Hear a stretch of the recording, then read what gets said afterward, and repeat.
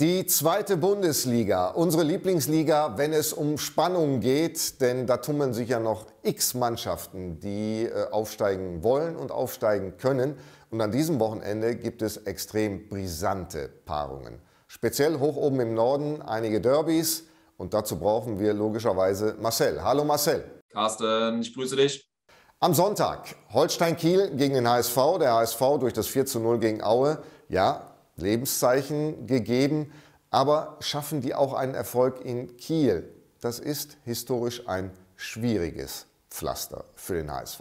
Definitiv, Carsten. Also ähm, erstmal muss ich, muss ich ein bisschen schmunzeln, als ich heute ein bisschen die Medien durchforstet habe. Am Wochenende hieß es noch, dass der HSV keine Chance haben wird, aufzusteigen. Ähm, Niederlagen in Folge, die Mannschaft ist nicht gut in Form. Jetzt gewinnen sie zu Hause 4 zu 0 gegen den Tabellenvorletzten und auf einmal steht in den Medien, der HSV hat sich im Aufstiegsrennen zurückgemeldet. Ja, so weit würde ich jetzt noch nicht gehen, da bin ich ganz ehrlich. Ich glaube, dass der HSV von den Mannschaften, die oben noch mit dabei sind, ähm, ja, die geringste Konstanz an den Tag legt momentan in der zweiten Liga. Deswegen bin ich da auch ein bisschen skeptisch, ob sie nochmal wirklich ganz oben angreifen können. Wie du gesagt hast, historisch in Kiel ähm, nicht sonderlich gut. Ja, sie haben keines der sieben Zweitligaspiele seit 2018 gegen Kiel gewonnen. Das heißt überhaupt noch nie in der zweiten Liga gegen Holstein gewonnen. Ähm, und die letzten fünf Spiele endeten alle unentschieden. Auch das sicherlich eine interessante Tendenz, die man wissen sollte, um den geeigneten Tipp zu finden. Entschuldige, dass ich dich ähm, unterbreche, Marcel, aber es gibt ja auch eine spannende Tendenz bei Holstein Kiel. Ähm, nur ein Sieg in den letzten sechs Partien. Okay, ähm, entgegne ich wieder mit einem anderen Argument, denn Kiel hat nur zwei der letzten neun Heimspiele verloren. Ja, auch das muss man wissen. Und sie haben gegen Bremen gewonnen, sie haben gegen St. Pauli gewonnen und sie haben gegen Darmstadt einen Punkt geholt. Das heißt, gerade zu Hause gegen die Spitzenmannschaften haben sie schon äh, gute Leistungen gebracht und dementsprechend kann ich mir auch vorstellen, dass sie gegen den HSV mindestens einen Punkt holen werden. Ähm, der HSV, wir wissen, ja, ich habe es eben schon kurz angedeutet, die Konstanz fehlt einfach und vor allen Dingen haben sie auch nur eins der letzten sieben Auswärtsspiele gewonnen. Das heißt, gerade in der Fremde haben sie auf jeden Fall ihre Schwierigkeiten, ähm, die vollen PS auf die Straße zu bringen. Und deswegen sage ich doppelte Chance 1x. Kiel holt mindestens einen Punkt zu einer Quote von 1,85. Und dieses Thema vertiefen wir jetzt mit einem, der 20 Jahre beim HSV unterwegs war in verschiedenen Funktionen als Spieler und so weiter. Marinus Bester. Herzlich willkommen, Marinus.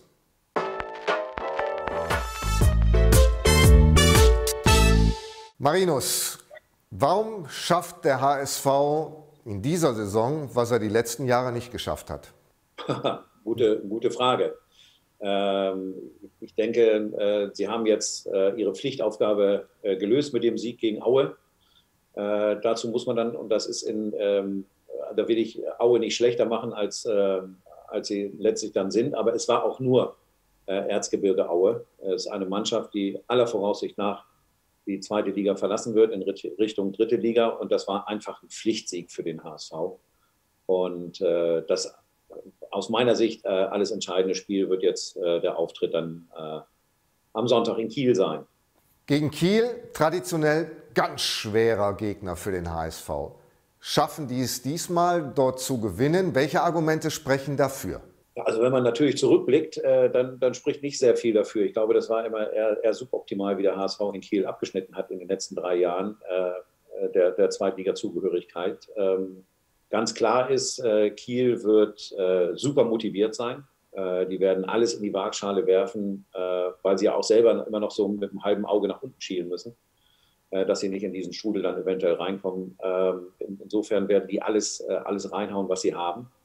Und beim HSV wird es, wird es so sein, dass sie natürlich ihre Qualitäten haben. Sie haben das Spielsystem von, ähm, von Tim Walter, Walter äh, verordnet bekommen, was sehr laufintensiv ist, ähm, was sie aber auch gut, äh, gut beherrschen. Aber das Interessante wird sein, wer will den Sieg mehr? Und da habe ich jetzt gerade in den letzten fünf Spielen vor Aue, hat man, hat man viele Situationen irgendwie gesehen, wo man, wo man dann daran zweifeln musste.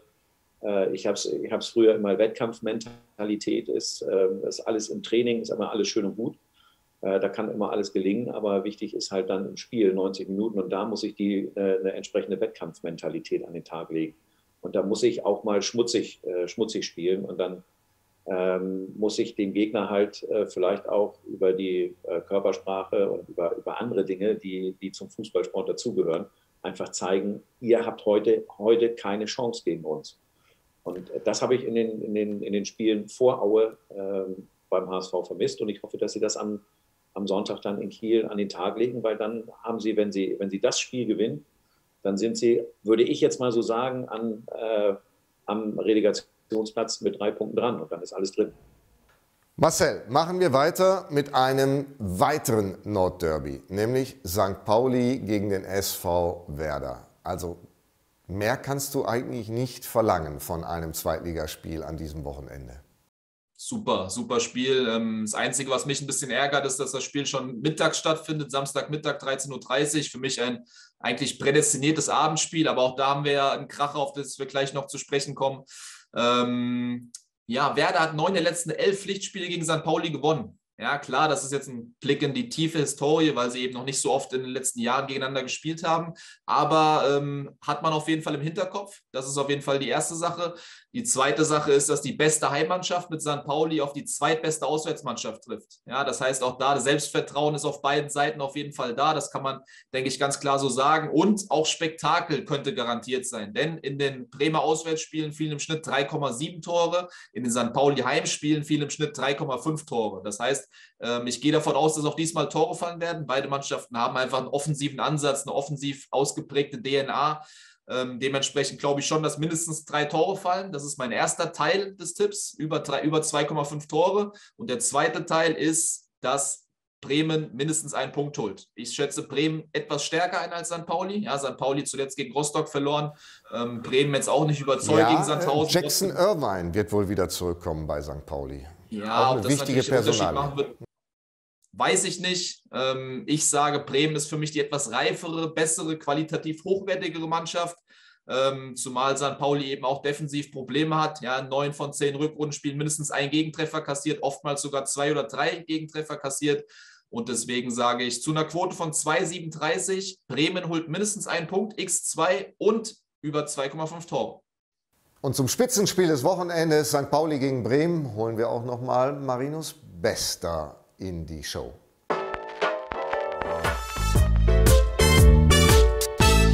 Marinus, zurück zu dir. Äh, der andere Hamburger Verein, der FC St. Pauli, steht aktuell besser da als der HSV.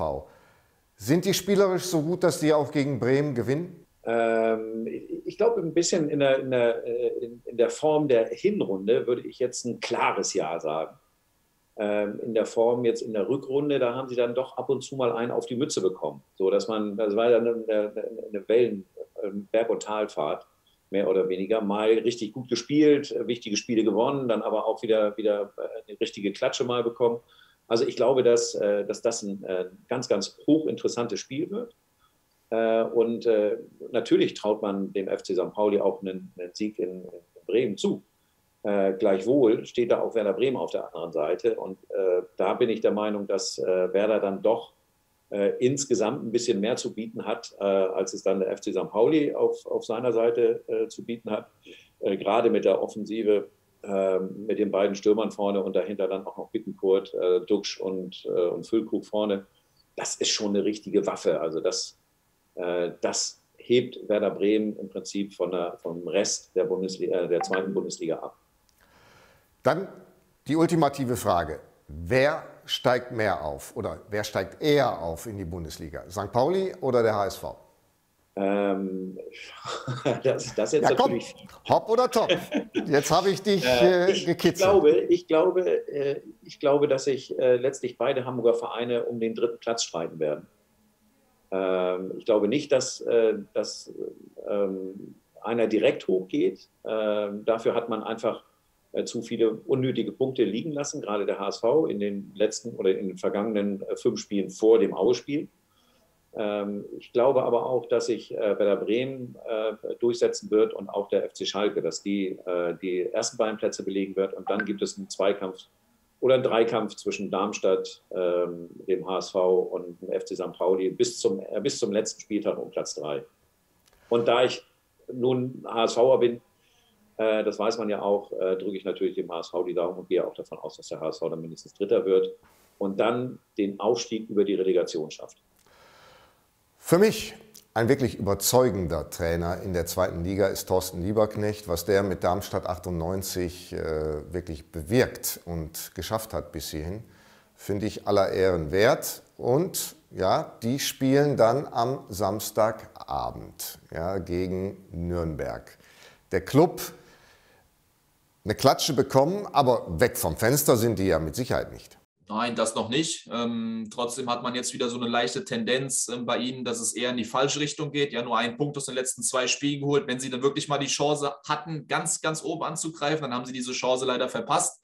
Ähm, Darmstadt hingegen ist für mich eine Mannschaft, die muss man auf jeden Fall auf der Rechnung haben bis zum Schluss. Ja, Darmstadt ähm, hat sechs der letzten acht Auswärtsspiele gewonnen. Ja, und die einzige Niederlage, die sie in diesen acht Auswärtsspielen kassiert haben, war das 0-1 in Bremen. Und da haben sie wirklich eine sehr, sehr lange Zeit in Unterzahl gespielt und waren trotzdem eigentlich ähm, nicht unbedingt die viel schlechtere Mannschaft. Das heißt, Darmstadt für mich auf jeden Fall ein sehr, sehr heißer Tipp, wenn es um den Aufstieg geht.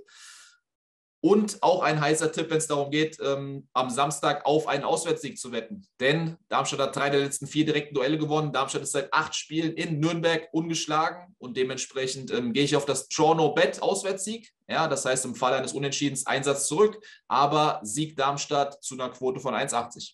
Heiße Tipps gibt es in unseren Sendungen immer von Marcel. Ich habe auch noch einen Tipp für euch, was ihr auf unserer Seite finden könnt, nämlich den Predictor.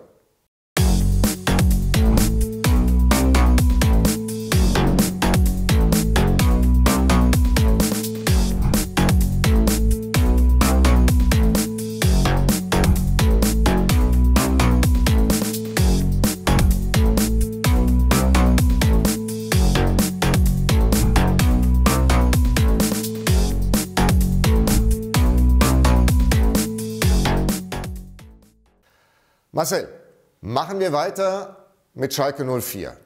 Die dürfen wir natürlich nicht vergessen.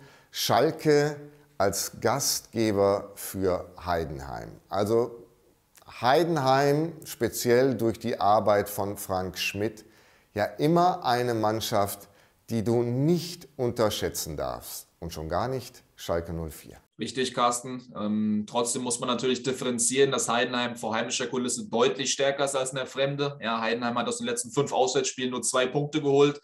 Ähm, trotzdem aber hat Schalke tatsächlich noch nie gegen Heidenheim gewonnen und auch noch nie gegen Heidenheim ein Tor erzielt. Ja, klar, das Hinspiel Aber die haben doch Simon Terodde, der wird das schon richten. Glaubst du? Ja, äh, komme ich gleich dazu, Carsten. Aber das Hinspiel war bisher das einzige direkte Duell. Das hat Heidenheim zu Hause 1-0 gewonnen. Und jetzt zu Simon Terodde. Simon Terodde seit sechs Spielen, in seinen letzten sechs Spielen gegen Heidenheim, ohne Torerfolg geblieben. Das heißt, äh, die Lebensversicherung der Schalker ähm, ja, mag Heidenheim nicht so gerne. Und das äh, hat mich auch zu dem Tipp veranlasst, zu sagen, dass wenige Tore fallen werden. Ähm, vor allen Dingen auch wenige Tore in der ersten Halbzeit. Ich gehe darauf, dass maximal ein Treffer in den ersten 45 Minuten fällt. Und das Ganze begründe ich einfach noch damit, dass Heidenheim, pass auf, Carsten, in den ersten 45 Minuten der laufenden Saison, ja, in 28 Spielen erst acht Gegentreffer kassiert hat. Ja, seit Habe ich 12. aufgepasst? Dezember. Schreibe ich mir jetzt auf seit 12. Dezember haben sie auswärts kein Gegentor mehr in der ersten Halbzeit kassiert. Das hat, denke ich, nicht sofort jeder auf dem Schirm, ist aber für mich auf jeden Fall das ja, gewichtigste Argument zu sagen, es fallen wenige Tore in der ersten Halbzeit unter 1,5 zu einer Quote von 1,53. Kommen wir zum Freitag. Zum Freitagabend. Fortuna Düsseldorf gegen die Mannschaft der Stunde, das kann man so sagen. Hansa Rostock, vier Siege in Folge. Also das Team von Jens Hertel war spielerisch schon immer gut in der ganzen Saison. So habe ich das verfolgt. Jetzt sind sie auch noch erfolgreich. Absolut. Ähm, ich denke, man kann bei beiden Mannschaften sagen, dass sie sich aus der Abstiegszone befreit haben. Auch die Düsseldorfer sind ja mittlerweile seit sieben Spielen ungeschlagen, haben unter Daniel Thun noch kein Spiel verloren. Aber eben auch nur viele der letzten fünf Spiele unentschieden gespielt. Das heißt, so dass dieser ganz große Befreiungsschlag in Form eines Dreiers, der fehlt ein bisschen. Rostock aber in der Fremde 2022 noch ungeschlagen. Das heißt, es treffen auf jeden Fall zwei selbstbewusste Mannschaften aufeinander. Ich sage trotzdem, Düsseldorf wird mindestens einen Punkt holen. Also es gibt keinen Auswärtssieg, doppelte Chance 1x und unter 3,5 Tore, weil sich die Stärken beider Mannschaften ein Stück weit neutralisieren. Glaube ich an eher weniger Tore. Und dafür finden wir eine Quote von 1,66. Jan Regensburg, das Team, das nach Führung die meisten Punkte verspielt hat, nämlich 22 gegen Ingolstadt, kurz und schmerzlos. Sieg Regensburg, ähm, Quote 1,82, weil Ingolstadt ist einfach zu schwach auswärts. Ja, sie haben 10 der 14 Auswärtsspiele verloren. Regensburg hat eine positive Heimbilanz, haben zuletzt am Wochenende Moral gezeigt beim unentschiedenen Unterzahl in Hannover. Deswegen für mich Quote 1,82, Sieg Regensburg. Aue gegen Hannover am Samstag. Da bin ich bei wenigen Toren, weil einfach zwei verunsicherte Mannschaften aufeinandertreffen. Ähm, Aue hat sieben der letzten neun Ligaspiele verloren. Ja, erst am Dienstag das 0 zu 4 gegen den HSV. Ähm, Hannover hat nur in fünf von 28 Spielen mehr als ein Tor erzielt. Ja, sie haben allgemein eine sehr, sehr schwache Offensive. Beide Mannschaften haben erst 26 Tore erzielt. Ähm, nur Ingolstadt hat weniger Tore markiert. Und deswegen sage ich unter 2,5 zu einer Quote von 2,05. Kommen wir zum gallischen Dorf in dieser Liga. Sandhausen. Immer wieder bemerkenswert, was die an Kampfgeist entwickeln und was die auch an Punktausbeute dann holen. Die spielen gegen Dresden und Dresden taumelt. Ja, Dresden ist die einzige Mannschaft in der zweiten Liga, die im Jahr 2022 noch nicht gewonnen hat. Ja, der letzte Sieg datiert vom 12. Dezember. Ja, das ist der erste Punkt. Der zweite Punkt, Sandhausen im Jahr 2022 die wenigsten Gegentreffer kassiert. Ja, erst neunmal musste der Torwart hinter sich greifen und sie sind auf Platz sieben der Rückrundentabelle. Ja, Dresden hingegen auf Platz 17. Dementsprechend ähm, und aufgrund der Tatsache, dass Dresden überhaupt die wenigsten Tore aller Zweitligisten erzielt hat, glaube ich, dass Sandhausen gute Chancen haben wird, was mitzunehmen. Ähm, doppelte Chance 1x und unter 3,5. So ein 1-0 0-0, 1-1, 2-1 Sieg für Sandhausen in der Spitze. Also maximal kann ich mir sehr, sehr gut vorstellen und dafür gibt es eine Quote von 1,72. Und das letzte Spiel Paderborn gegen KSC, kurz und schmerzlos. Da gehe ich noch mal ein Stück weit ins Risiko. Ähm, zwei Mannschaften, für die es jetzt um nicht mehr viel geht, werden dementsprechend mit offenem Visier spielen. Der achte trifft auf den neunten. Ähm, ja, zehn der letzten 14 KSC-Spiele endeten mit mindestens drei Toren und auch drei der letzten fünf Paderborner Spiele endeten mit mindestens drei Toren. Deswegen sage ich über 2,5 Tore. Ja, und Paderborn holt mindestens einen Punkt, 1x. Und dann finden wir doch noch eine relativ hohe Quote ähm, zum Abschluss des Zweitliga-Wochenendes von 2,30. Siehst du, da kommt er nochmal mit einem Kracher um die Ecke. Hier alles, was Marcel so vorschlägt für das Zweitliga-Wochenende in der Übersicht. Und ich wünsche euch ein erfolgreiches und spannendes Wochenende. Und äh, ihr wisst, auch für die Champions League nächste Woche gibt es wieder frische Ware von uns.